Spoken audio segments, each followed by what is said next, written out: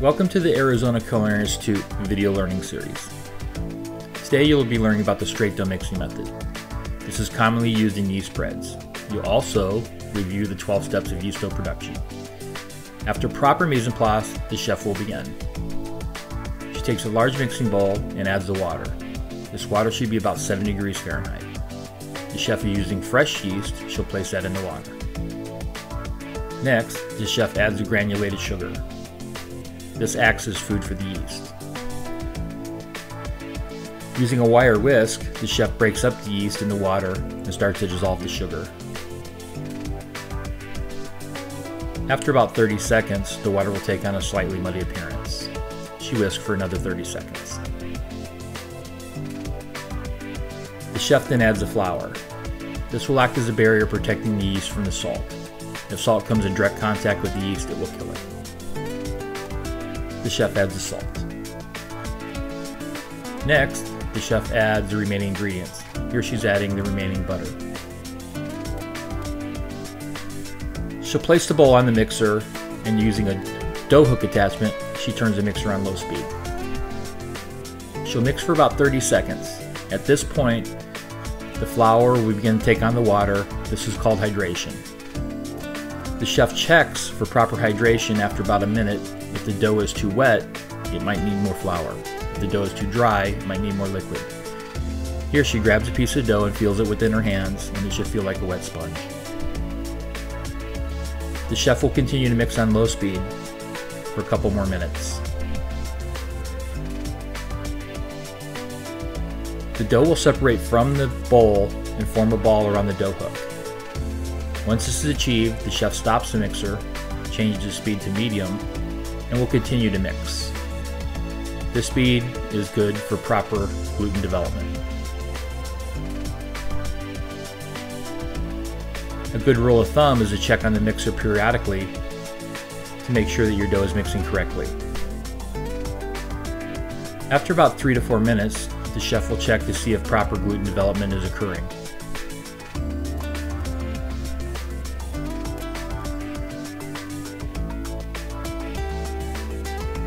The chef checks the dough using what was called the painting method. She pulls out a piece of dough and pulls it apart. If she can pull it apart to 5 to 7 inches without it breaking, the gluten has developed properly.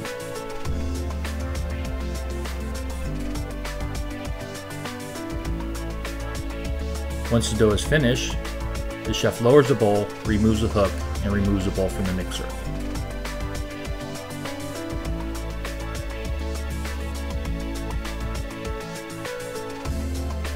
She will then transfer the dough into a previously oiled container. Here she's using a Lexan that has been sprayed with baking spray. This will prevent the dough from sticking to uh, the container after it's fermented. Here, she stretches and kneads the dough to allow proper fermentation. She then covers the dough with plastic wrap. She will then label, date, and time it and place it in a room temperature area for it to ferment. Fermentation takes anywhere from an hour to an hour and a half. Here, the chef is using previously fermented dough. She will punch down the dough, which expels the gas, redistributes the food for the yeast, and redistributes the heat within the dough. She will then remove the dough from the container onto the bench.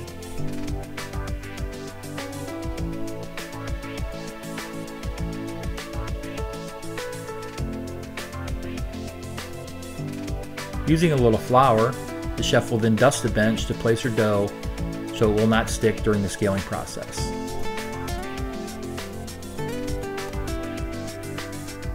The chef will then use a dial scale and a bench knife during the scaling process. Proper scaling is important if you want consistent product. The chef then cuts the dough with the bench knife into her desired portion size. During this process, the dough is actually cut, as well as the gluten. The chef will then need to restretch the dough or stretch the gluten. This process is called rounding. The chef uses her thumb and forefinger. With a lot of practice, reshapes the dough into a ball. If this is done correctly, a hole on the bottom will form. The chef then places the dough on the bench to rest. This is called benching. After a few minutes, the chef goes into final production. She then will place the dough onto a lined parchment paper pan. This is called panning. The dough will go into its final production. Today the chef is making Kaiser rolls.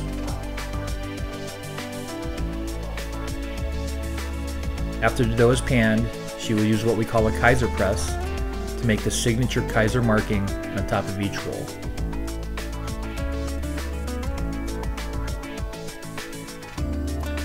The dough will then go into a proof box. The proof box should be about 80 degrees Fahrenheit, 90% humidity, until the rolls double in size. Here, a student is making relief cuts on previously proofed bread. Relief cuts are important to prevent them from irregularly breaking during baking. This will allow a consistent product.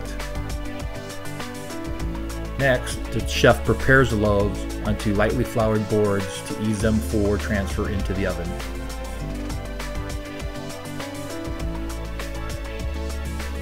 The chef will then gently slide the rolls directly onto the hearth of our deck oven. This takes great caution.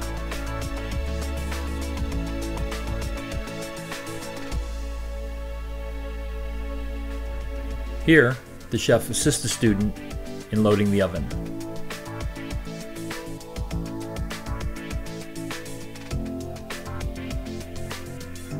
The student and chef then places ice cubes directly on the hearth surface. This will create steam within the oven, allowing for a better crust development. The oven can then be closed for baking. After baking, the student then removes the finished bread onto a cooling rack.